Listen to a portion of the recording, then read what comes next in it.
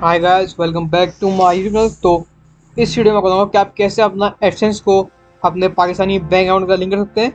तो सबसे पहले आपको जाना अपने एडसेंस की आईडी पे और क्लिक करना है पेमेंट्स इन्फॉर्मेशन पे। तो एडसेंस में जाने के बाद अब आपको क्लिक करना है पेमेंट्स अकाउंट्स पे और इसको क्लिक कर देना यूट्यूब पे। तो जैसे यहाँ पे पूछ रहा है हाउ यू गेट पेड तो हमें क्लिक करना है एड पेमेंट मेथड पे। तो यहाँ ये दो ऑप्शन दे रहा है। ऐड न्यू वायर ट्रांसफ़र या ऐड न्यू चेक डिटेल्स तो हमें क्लिक करना है। ऐड न्यू वायर ट्रांसफ़र पे। हमें स्क्रॉल करना है। तो यहाँ पे पूछा बेनिफिशियरी आईडी ये हमें लिखने की ज़रूरत नहीं है। अब हमें यहाँ पे लिखना नेम और बैंक अकाउंट बैंक अकाउंट पे जो आपका नाम है ना अकाउंट होल्डर नेम जो होता है, वो लिखना है यहाँ पे। तो बैंक का नाम लिखना पूरा पूरा, जैसे मेरा बैंक है एमसीबी लिमिटेड तो मैं लिखूँगा यहाँ पे मुस्लिम कमर्शियल बैंक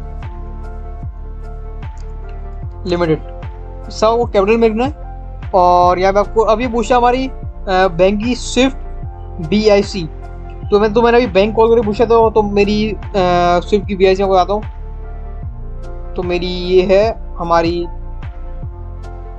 स्विफ्ट कोड मैंने बैंक का कॉल करके पूछा था। तो हमारा बैंक कोड आ, आ गया था ये। अब यहाँ पे हमें लिखना है। तो अब हमें यहाँ पे लिखना है अपना मेरा अकाउंट नेम तो मेरा नाम है मोहम्मद सलमान खान।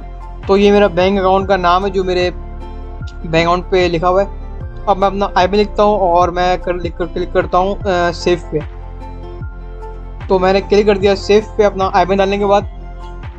तो जैसे अगर रखते हैं हाउ यू गेट पेड तो ये हमारा आई है हमारा आ, हमने अपना जो बैंक है वो ऐसे लिंक कर दिया है। तो, तो ये थी हमारी अच्छी वीडियो कि आप कैसे अपना बैंक को ऐसे का लिंक रखते हैं अपनी पेमेंट निकलाने के लिए।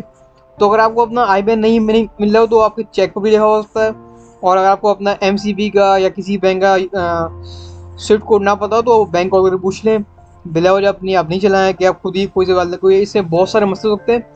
तो भाई, ये थी हमारी आज की video hope you like my video तो thanks for watching see next video bye